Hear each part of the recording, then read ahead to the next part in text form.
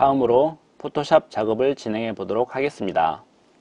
포토샵을 실행하고 파일, new 메뉴를 클릭하여 new 대화 상자가 열리면 이름을 포토샵 작업, width는 241mm, height는 166mm, resolution을 100, 컬러 모드를 CMYK로 설정한 후 OK 버튼을 클릭하여 새 document를 만듭니다. 일러스트 작업창에서 그리드를 선택하여 Ctrl C를 눌러 복사합니다. 포토샵 작업창에 Ctrl V를 눌러 paste 대화 상자가 열리면 pixels로 설정하고 OK 버튼을 클릭하여 붙여넣습니다. enter를 눌러 크기와 위치를 확정하고 layers 패널에서 layer 이름을 그리드로 변경하도록 하겠습니다. lock all 아이콘을 클릭하여 layer를 잠궈주고 파일, save 메뉴를 클릭하여 작업 폴더에 포토샵 작업이라고 저장합니다. 다음으로 book cover 앞면에 사용될 배경을 만들어 보도록 하겠습니다. 파일 오픈 메뉴를 클릭하여 제공 파일에서 cosmos.jpg 파일을 불러옵니다. 이미지가 열리면 quick selection tool을 이용하여 중앙에 있는 코스모스 꽃잎만 선택해 보도록 하겠습니다. control J를 눌러 복사합니다. 새롭게 복사된 layer에서 이미지의 색감을 조절하기 위해 이미지, adjustment, hue saturation을 선택합니다. 대화 상자가 열리면 colorize를 먼저 체크한 후 hue는 40, saturation은 20, lightness는 6으로 설정한 후 OK 버튼을 클릭하여 색상의 변화를 확인합니다. 이제 layer 패널에서 background layer를 선택하고 다시 이미지, adjustment, hue saturation을 선택합니다. colorize 체크, hue는 40, saturation 15, lightness는 36으로 설정한 후 OK 버튼을 클릭합니다. 다음으로 코스모스 배경 이미지에 필터 효과를 적용해 보도록 하겠습니다. 필터, 필터 갤러리 메뉴를 선택합니다. 대화 상자가 열리면 텍스처, patchwork를 선택하고 square size는 9, relief는 16 정도로 설정합니다. OK 버튼을 클릭하여 필터 효과를 적용합니다. background layer가 선택된 상태에서 Ctrl A를 눌러 전체 영역을 선택한 후 Ctrl C를 눌러 복사합니다. 포토샵 작업창으로 돌아가 Ctrl V를 눌러 붙여넣습니다. Ctrl T를 눌러 크기 조절점을 나타내고 크기와 위치를 조절해 보도록 하겠습니다.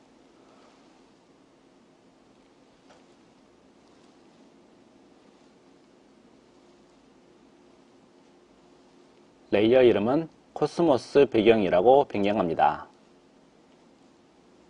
레이어를 그리드 아래로 이동합니다. 다음으로 코스모스 배경 레이어 윗부분을 자연스럽게 사라지도록 하겠습니다. Layers 패널에서 Add Layer Mask를 선택하여 마스크를 적용한 후 Gradient Tool을 선택합니다. 전경색을 흰색, 배경색을 검정색 배경으로 설정하고 옵션 바에서 Foreground to Background로 설정되어 있는지 확인한 후 밑에서 위로 드래그 하겠습니다.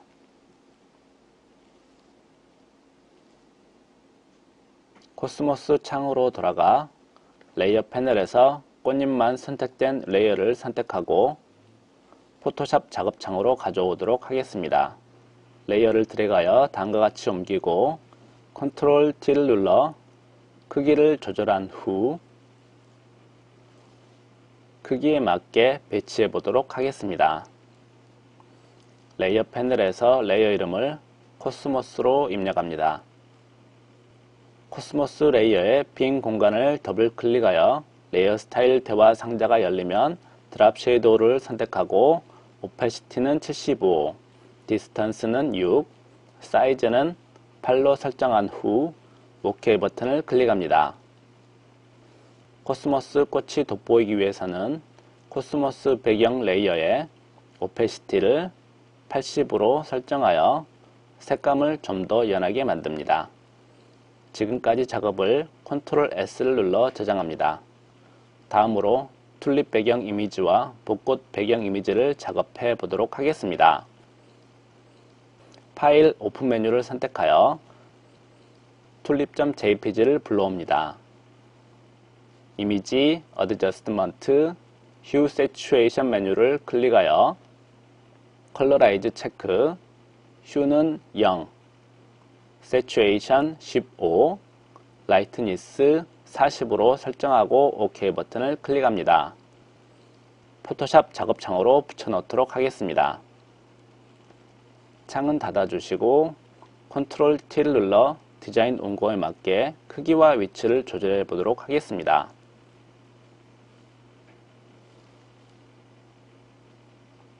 Layers 패널에서 레이어 이름을 튤립으로 변경합니다. 튤립 레이어 아랫부분을 자연스럽게 사라지도록 하겠습니다. Layers 패널에서 Add Layer Mask 아이콘을 클릭하여 마스크를 적용해 보도록 하겠습니다. Gradient Tool을 선택하고 앞서 설정한 그대로 색상이 유지되기 때문에 바로 위에서 아래로 드래그하여 마스크를 적용해 보도록 하겠습니다. 벚꽃 이미지도 같은 방법으로 배치해 보도록 하겠습니다. File Open 메뉴를 선택하여 벚꽃을 불러옵니다. Image Adjustment Hue Saturation 메뉴를 클릭하여 Colorize 체크 Hue 62 Saturation 20 Lightness 35로 설정한 후 OK 버튼을 클릭합니다. 다음으로 필터 효과를 적용해 보도록 하겠습니다. Filter, Filter Gallery에서 Brush Stroke Spatter를 선택하고 Spray Radius를 18 Smoothness는 4로 설정한 후 OK 버튼을 클릭합니다. 포토샵 작업창에 붙여놓도록 하겠습니다. 컨트롤 T를 눌러 디자인 원고에 맞게 크기와 위치를 조절해 보도록 하겠습니다.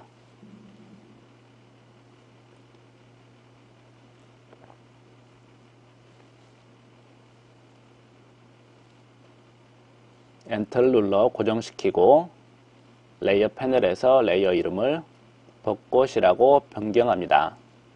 튀어나온 부분을 없애주기 위해 Rectangular Marquee Tool을 선택합니다. 불필요한 부분을 선택하고 Delete를 눌러 삭제합니다. Control D를 눌러 선택 영역을 해제합니다.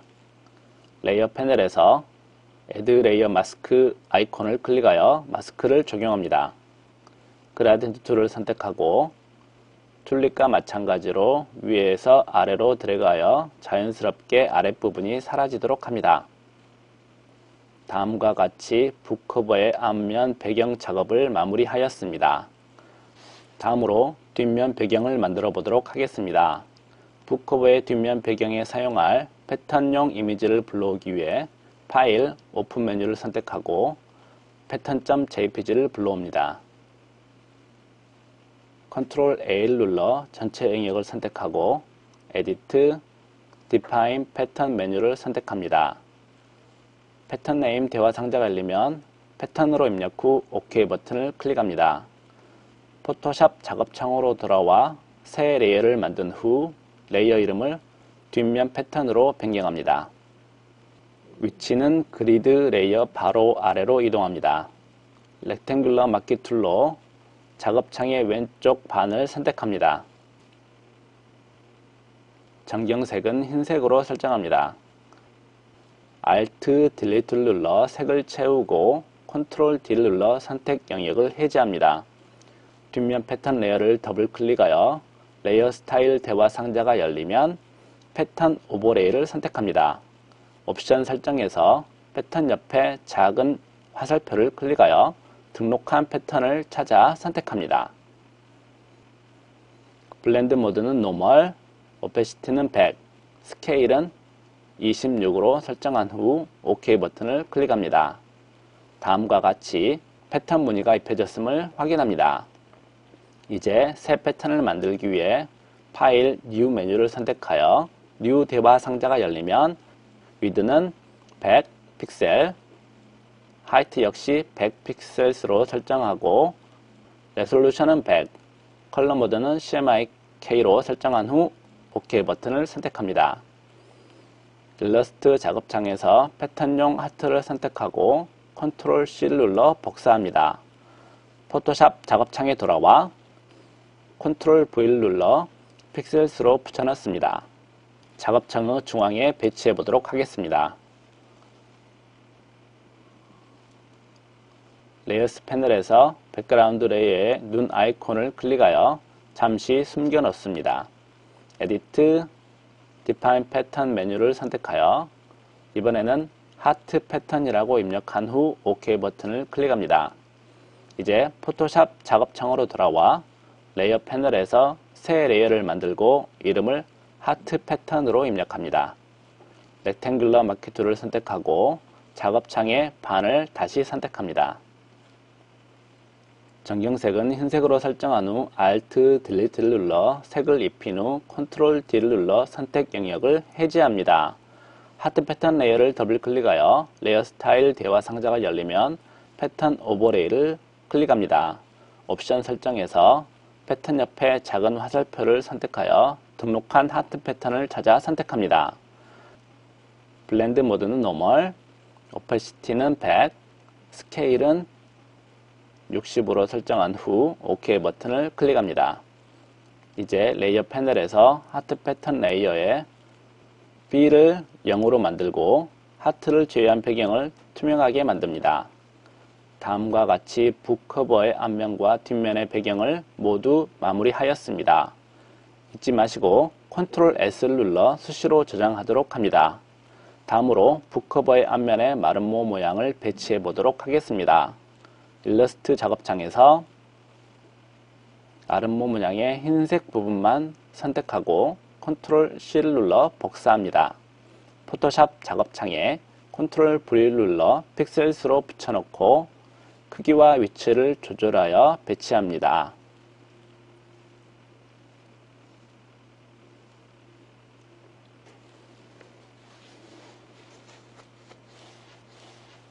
레이어 이름을 마름모 01로 변경합니다. 이제 일러스트 작업창에서 사색 마름모만 선택하고 Ctrl C를 눌러 복사합니다. 포토샵 작업창에 Ctrl V를 눌러 Pixels로 붙여넣습니다. 흰색 마름모 위에 맞게 배치해 보도록 하겠습니다.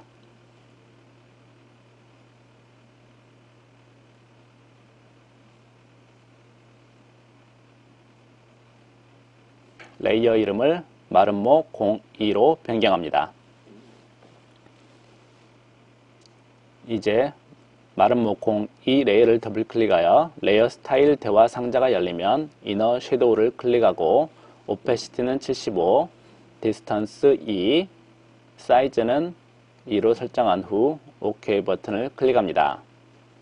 다음으로 마름모 01 레이어를 더블 클릭하고 Drop Shadow를 클릭하여 Opacity는 75, Distance 3, Size는 8로 설정한 후 OK 버튼을 클릭합니다. 다음으로 사색 마름모의 각 부분에 꽃잎 문양을 배치해 보도록 하겠습니다. 마름모를 확대하고 일러스트 작업창에서 꽃잎 문양을 선택합니다. Ctrl C를 눌러 복사하고 포토샵 작업창에 돌아와 Ctrl V를 눌러 Pixels로 붙여넣습니다. 레이어 패널에서 레이어 위치를 그리드 레이어 바로 아래로 이동합니다. 다시 Ctrl T를 눌러 크기 조절점을 나타내고 디자인 원고를 참고하여 배치해 보도록 하겠습니다. 크기와 위치를 다음과 같이 변경한 후 Alt를 누른 채 복사하여 배치합니다.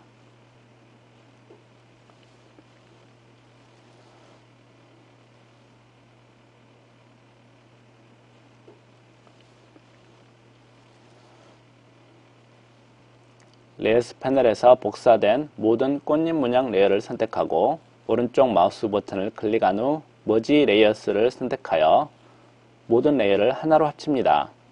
이제 Move Tool로 Alt Shift를 누른 채 대각선 방향으로 복사하여 총 16개의 무늬를 정렬해 보도록 하겠습니다. Layers 패널에서 복사된 모든 꽃잎 문양 레이어를 선택하고 오른쪽 마우스 버튼을 클릭한 후 Merge Layers를 선택하여 모든 레이어를 하나로 합칩니다. 이름을 패턴 01로 변경합니다. 레이어를 더블 클릭하여 레이어 스타일 대화 상자가 열리면 and Emboss를 선택하고 스타일은 Pillow Emboss, Technique는 Smooth, Depth는 100, Direction은 Up, Size는 2, Soften은 0으로 설정한 후 OK 버튼을 클릭하여 적용합니다. 다시 한번 컨트롤 V를 눌러 꽃잎 문양을 붙여넣고 크기와 위치를 조정하여 디자인 원고에 맞게 배치합니다. 레이어 이름을 패턴 02로 변경한 후 레이어를 더블 클릭하여 레이어 스타일 대화 상자가 열리면 같은 옵션으로 Bevel and Emboss를 적용합니다. 이번에는 일러스트 작업창에서 넝쿨 문양을 선택하고 컨트롤 C를 눌러 복사합니다. 포토샵 작업창에 컨트롤 V를 눌러 Pixels로 붙여넣고 크기와 위치를 조정하여 배치해 보도록 하겠습니다.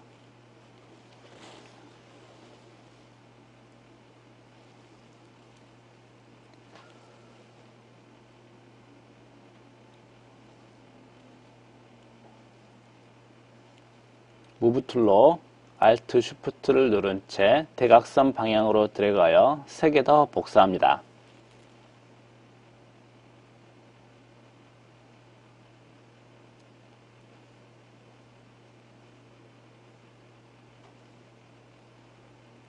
모든 넝쿨 문양 레이어를 선택하여 레이어를 하나로 합치고 이름을 패턴 03으로 변경합니다. 레이어를 더블 클릭하여 레이어 스타일 대화 상자가 열리면 Bevel and Emboss를 클릭하고 스타일은 Pillow Emboss, Size는 2, Soften은 0으로 설정한 후 OK 버튼을 클릭합니다. 이제 일러스트 작업창에서 넝쿨 문양을 선택하고 Shift Ctrl G를 눌러 그룹을 해제합니다. 기본 패턴 하나만 선택하여 컨트롤 C를 눌러 복사합니다. 앞서 했던 방법으로 디자인 원고를 참고하여 배치해 보도록 하겠습니다.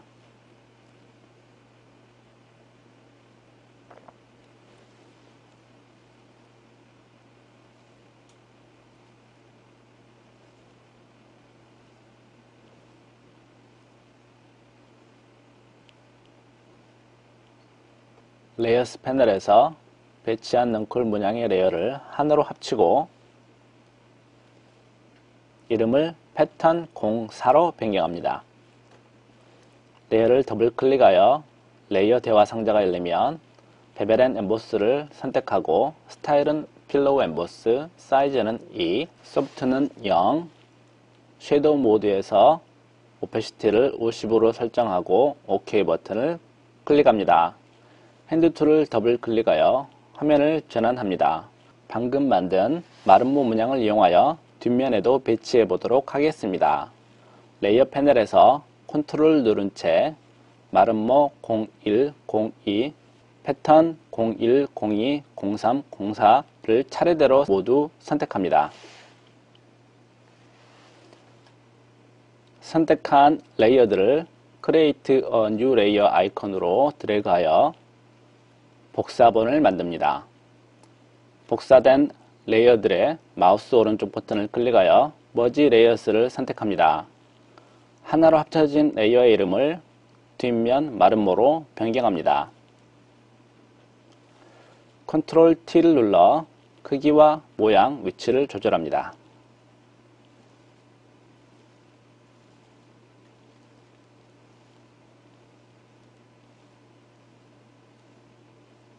다음으로 Rectangular Marquee Tool을 선택하고 뒷면 마름모 이미지의 선택 영역을 설정합니다. Filter, Distort, Twirl을 선택하고 Angle을 마이너스 36으로 설정한 후 OK 버튼을 클릭합니다.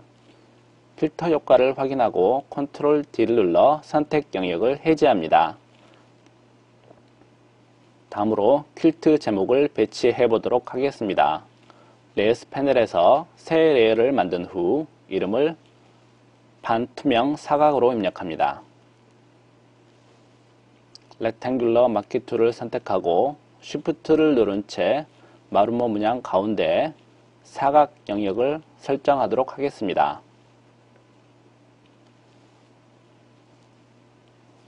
전경색은 흰색으로 설정한 후 Alt Delete를 눌러 색을 채웁니다. Opacity를 75로 설정하여 연하게 만듭니다. 컨트롤 D를 눌러 선택 영역을 해제한 후 일러스트 작업창에서 퀼트 타이틀을 선택하고 컨트롤 C를 누릅니다. 포토샵 작업창으로 들어와 컨트롤 V를 눌러 Pixels로 붙여넣고 크기와 위치를 조정하여 반투명 사각 레이어 맞게 배치합니다.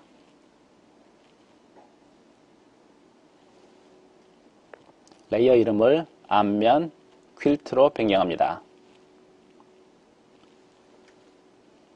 다시 일러스트 작업창으로 가서 이번에는 금박 라벨을 선택합니다. 컨트롤 C를 눌러 복사하고 포토샵 작업창으로 들어와 컨트롤 V를 눌러 Pixels로 붙여넣습니다. 크기와 위치를 조절하여 앞면 아랫부분에 배치해 보도록 하겠습니다.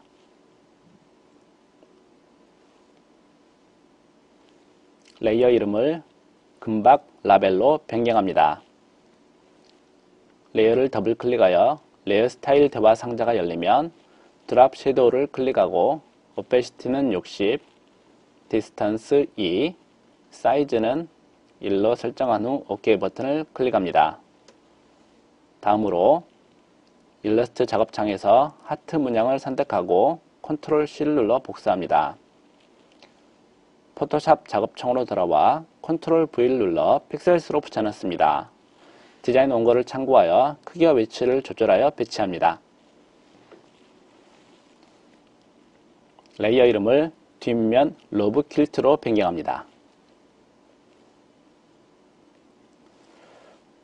레이어 Opacity를 90으로 변경합니다. 다음으로 북커버의 중간에 옆면 배경을 만들어 보도록 하겠습니다. 안내선을 설정하기 위해 View, Rulers를 체크하여 눈금자가 보이도록 합니다. 왼쪽의 눈금자를 클릭하여 오른쪽으로 드래그하면 다음과 같이 가이드선을 만들 수 있습니다. 이어서 위쪽의 눈금자에서 안내선을 드래그하여 3개의 안내선을 더 만듭니다.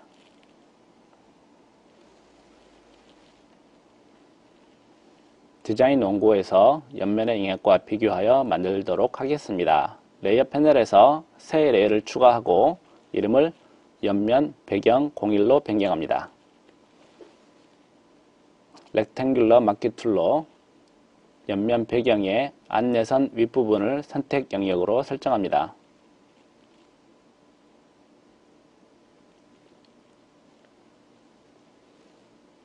전경색을 C0, M35, Y85, K0 배경색을 C30, M100, Y60, K20으로 설정한 후 Gradient Tool을 선택하여 선택 영역의 아래에서 위로 드래그하여 그라데이션을 적용합니다. 컨트롤 D를 눌러 선택 영역을 해제하고 이어서 선택 툴로 중간 영역을 선택합니다. 새 레이어를 추가하고 전경색은 흰색 Alt Delete를 눌러 색을 채웁니다. 같은 방법으로 각각 선택 영역을 지정하여 옆면을 채워보도록 하겠습니다.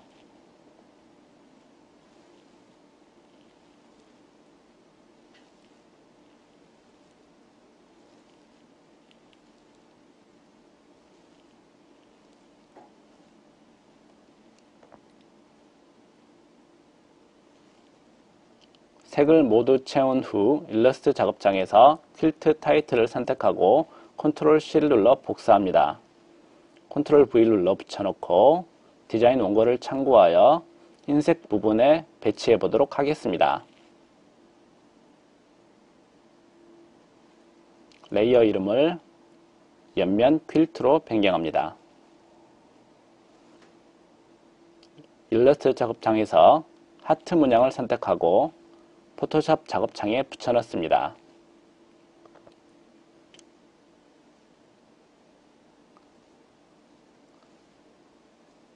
레이어 이름을 옆면 러브 퀼트로 변경합니다.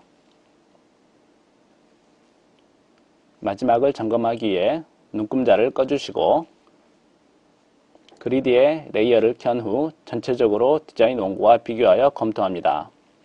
그리드 레이어를 잠깐 숨겨놓고 컨트롤 S를 눌러 저장합니다. 이미지 모두 RGB 컬러 모드로 전환하고 대화 상자에서 Don't Flatten을 선택합니다. 파일, Save As 메뉴를 선택하여 자신의 비번호를 이름으로 입력한 후 포맷을 JPG로 설정합니다.